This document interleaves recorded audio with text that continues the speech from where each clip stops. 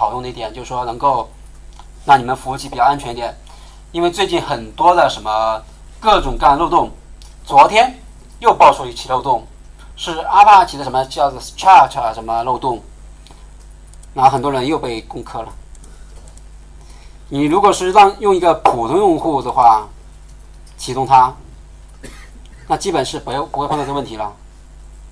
那很多人直接是用陆氏用户启动的，所以说不坑你坑谁啊？阿帕奇，对，看到没有？这已经在头条了。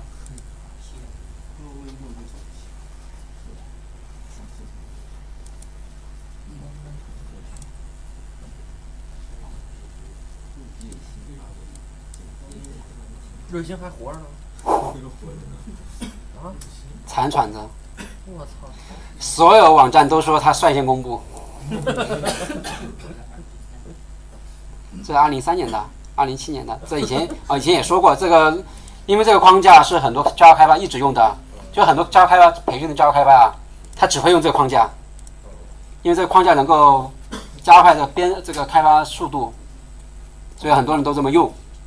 但是大家对这个安全性都考虑不太多，所以说很多这个漏洞被看到没有？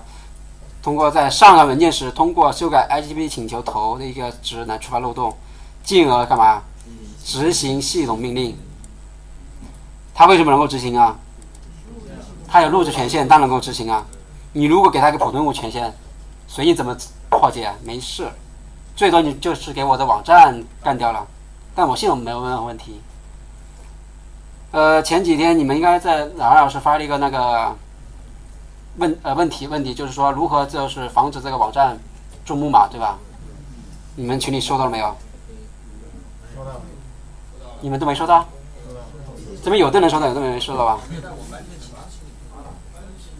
那我给你发一个。我记得这个你我们公众号你们有有没有关注啊？关注了。对呀、微信呢？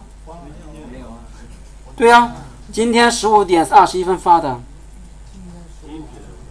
还没开呢。没看呢。这是我们的公司公众号，然后老师老杨老师自己本身有个个人公众号也发了。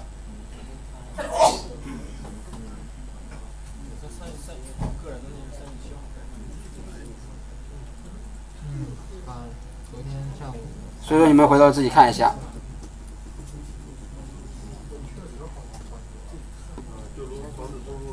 对，这好几种方法。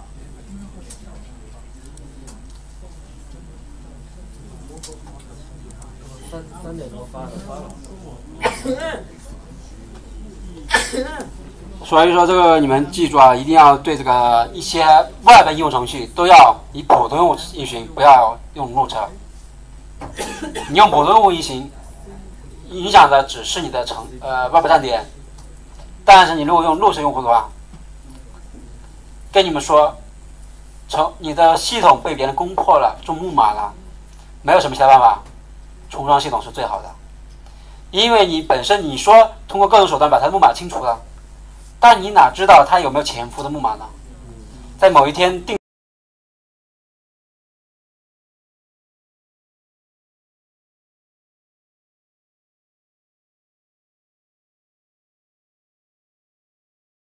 定时的又复活了呢？你不知道。所以说，百分之百最好的方法就是重装系统，全部隔了盘，全部重来。你其他方法没有没什么好方法。别人说什么找什么通过什么 L S O F 命令找到这个进程的原程序，然后把它删掉，这个全扯淡。很多东西你删掉了，只是一个表面型表面文件，隐藏到里面的你根本不知道在哪隐藏了。你有你有功夫去找到这文件，还不如重装的快呢。嗯，没错，这是那整个架构要是被感染了，你整个架构都得先掉啊。整个架构都被感染了，那你就可以走了，你可以走了，你可以，你可以走了。那我觉得这个就没话说了。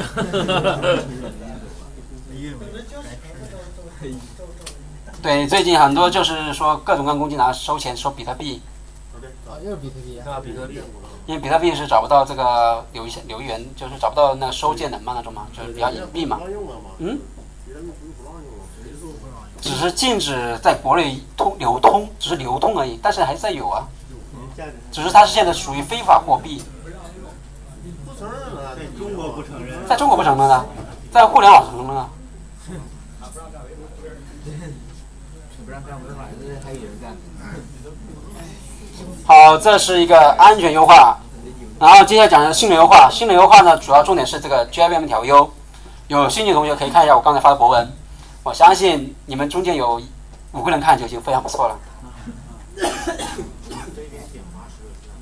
啊，点八个赞，那那博文不是我的呀，你点赞我也不知道。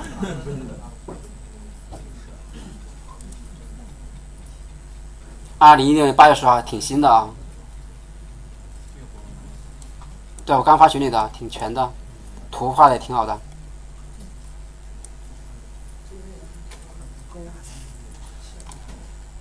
如果你们不接呃你们不看的话，工作怎么用啊？就是改配置文件，就做一个改，该翻倍的翻倍，该减少的减少，一般都是翻倍。像我这个是标准是一 G 的，像你们分分成两个 G 的话就翻倍嘛，三三 G 的话你就翻三倍嘛。做乘法都会吧？好，你们试验一下吧。刚才没让你们试验，你们把这个改一下，把你们自己改一下，看你们能不能实现成功。